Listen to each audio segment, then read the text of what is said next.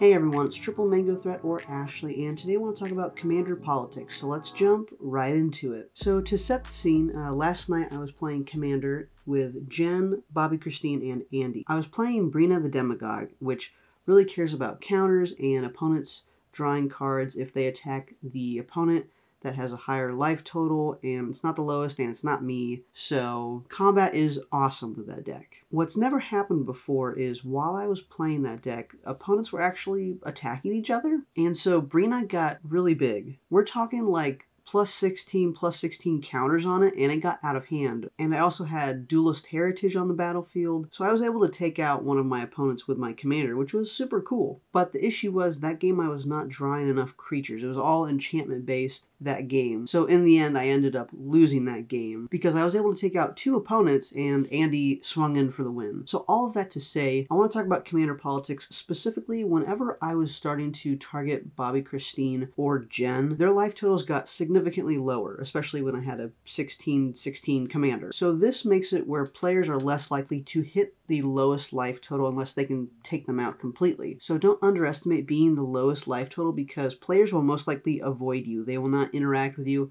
unless it's 1 to 2 damage, which I think that everyone's okay with usually. Also, playing Breena gets me out of my comfort zone, and what I mean by that is I don't like to deal opponents combat damage, which sounds weird because you want to bring everybody's life total to zero except yours, and Breena does the opposite of that. It encourages combat and it encourages card draw, which I love, but opponents get that, or if I hit the opponent with the not least life total. So as you can see, I made myself a big target for the game. I had a huge commander that could take anybody out and also duelist heritage. I even had a cunning rhetoric, so if somebody decided to swing at me, I can exile the top card of their library and I can cast that with mana that can be spent anyway. So becoming the target of the game can be a tricky situation. So how do you get out of that? Well, normally you don't unless you start, let's say, losing your whole board and you have to rebuild. Then I think people will will avoid you for however long that's going to take until, of course, they can win the game. And game two, I played Chishiro the Shattered Blade. So again, this is combat focused or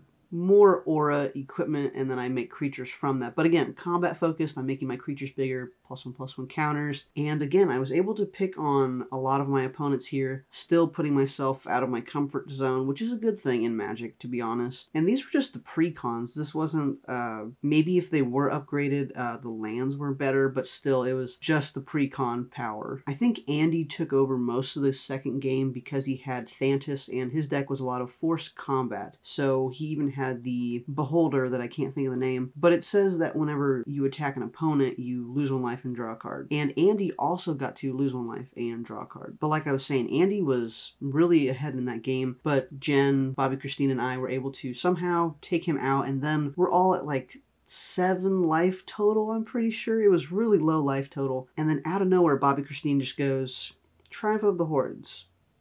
And although I lost to that card, I want to say that I learned a valuable lesson. Whenever you are attacking, you want to make sure that you can evaluate everybody's boards. Because I left myself almost wide open. I think I had one creature able to block, and then I made two come out of nowhere. So I was kind of able to manipulate the situation. But what's important is that blockers actually matter, and do not full swing at your opponents unless you have a spell that you can instant speed save yourself. And another tip for Commander, if you're interested in casting free spells, you should check out this video right here. This is going to give you the guide to free spells in EDH under $5, which is great for budget players. And thank you to the patrons who help support this show, and thank you to the viewers like you who help by liking, subscribing, commenting.